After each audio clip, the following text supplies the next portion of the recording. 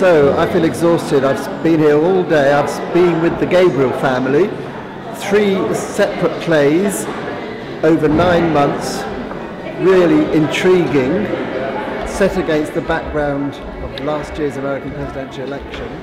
It's an amazing experience. It's beyond theatre. It's beyond naturalism. It's real. It's the performances are amazing. The direction is extraordinary. The play is wonderful. The performances are first rate. I saw them last year when they were here, or the, at the festival, and I've just seen them again, and I could, I could come again tomorrow. They were excellent. I feel as if I've spent an afternoon and an evening with a whole new family, and I'm going to miss them very much. It was a really good experience.